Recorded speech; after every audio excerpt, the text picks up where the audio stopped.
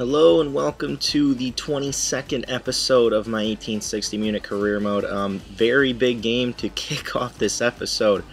Um, I was going to be playing FC Cologne, the team that is in first place in the Bundesliga 2. We are in second, and this is a massive game. Coming into this game, Cologne had won every single game that they had played so far. Um, knew that it was going to be a very tough game. Put the pressure on early, which was pretty good. So you can see Cologne trying to clear it here. Piazzone keeps control of it. Cuts in, very nice fake shot here. Forces a save from the goalkeeper. Nearly went in. Could have gone in just as just as easily um, with that bounce there. But another long shot there from Wojtkowiak.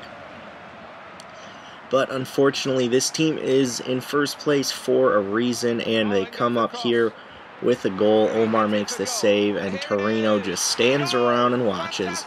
And Yabo scores in the 18th minute. They go up 1-0. Um, foul here from my team. I believe it was Benzia getting the foul, committing the foul rather.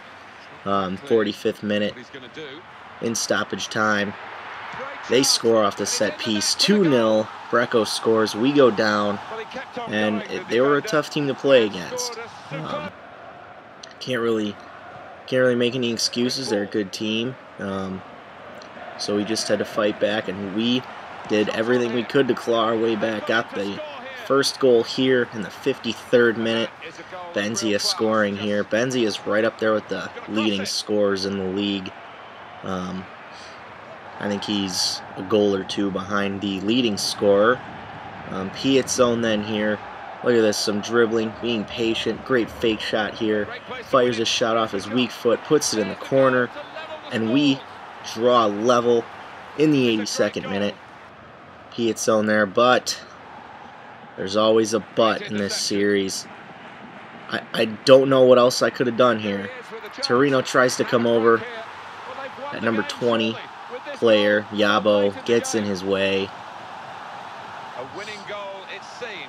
Yep, uh, that that happened. Uh, we ended up losing this game three to two after fighting all the way back. Um, extremely unfortunate for us. Definitely would have been cool to at least get a point out of this going to Cologne. Of course, last year we played, um, we defeated um, Hertha Berlin, the team that ended up winning the league. Both times we played them, a home and away. Uh, yet we couldn't make anything else happen to come close to the point total they had, and I'm kind of thinking Cologne might do the same thing, which is kind of kind of weird. Um, just because Cologne, they seem like they have a real good team.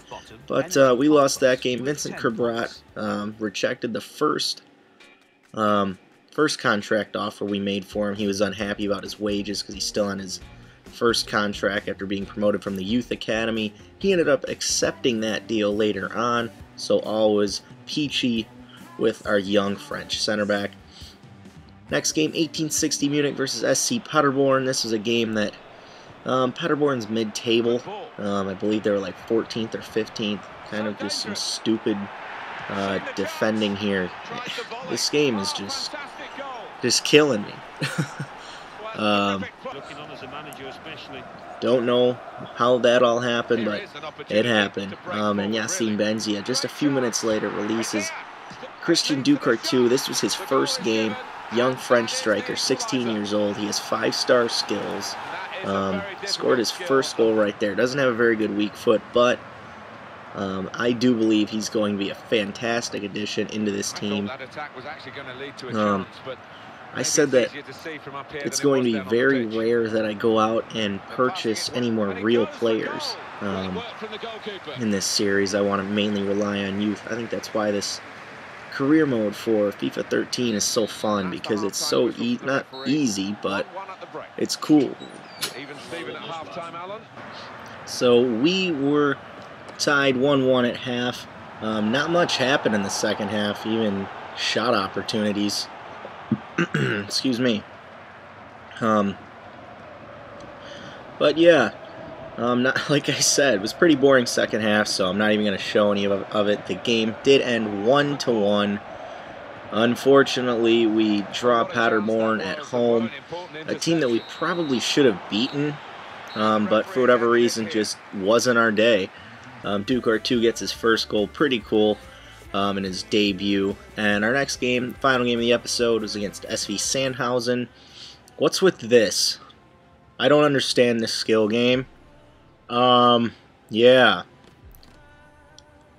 I'd really love to know. So, if you know what how to beat that, not that I really care, but I kind of want to know just because. Anyway, on to the game. Um, Zone getting an opportunity there. Dominik Stahl with it. Plays to Vissing, one of our young uh, youth talent um, prospects out of our youth academy. Zone then breaks inside, gets into the middle on his left foot. 32nd minute, Zone makes it 1-0 in our favor. And then this is towards the end of half number one. Mako's dribbling around. Marvel Wynn getting into the attack. Yassine Benzia receives a pass from him. Benzia cutting inside and fires one just wide. Always a threat inside the area anytime he gets on the ball. Um, as you can see right there, Sandhausen, even though we're only at 1 nothing, we were dominating. Um, they hardly saw the ball, and I think they only had one shot, um, even anywhere near our goal. They had one shot that went well wide, and it was a very slow shot, so Omar never would have really been threatened by that, and that was in the second half. Um, but unfortunately, Ducourtois gets hurt. He gets a, goes down with a sprained ankle. He could have played on, but I decided I didn't want to risk any further damage to that ankle, so I took him off the field. Um, put a Beanie say on there, and I always talk about how the attack and you know your opposition will go forward in the last 10 minutes of the game. Well, the near post OP off the counter attack, Yassine Benzia makes it 2-0. Excuse me, um, makes it 2-0 in the 85th minute. Had some other chances as well, um, even towards the end of the game. Couldn't take advantage though. Um, 89th minute, Benzia dribbling by here, left-footed effort, right at the goalkeeper. Um, game was in the bag, just wanted to put a stamp on things a little bit further. So that was it. We win 2-0, a loss, a draw, and a win in this episode. Um, we are still in second place.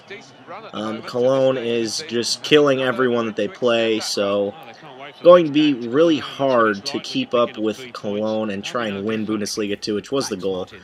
And Duker 2, get the email, he's going to be out for three weeks because of a sprained ankle. Um, scouting report from Germany. I believe this was the last one um, last of the three last uh, report um, of this scouting trip. Um, Sebastian Koch looks like a promising player. Decided to sign him. I believe I also signed Maurice Kirschbaum as well. Looks like he could be a potential star for our team. Um, so that means set up two more scouting networks. Um, our French scout Gary Kamara decided to send him to the Netherlands um, for a winger. Um, maybe he'll end up finding the next Robben. Um, that would be pretty nice. Someone, someone kind of like that. Um, and our German scout, I'm probably never going to have him go anywhere other than Germany just because this is a German team. It's going to have a lot of German, um, a lot of, a lot of German talent regardless. So um, what look for a defensive-minded player. But that is it for this episode. If you like to like, comment, subscribe, that'd be much appreciated. And you can see on the side, Cologne is killing everybody. That's it for this episode. I will see you next time.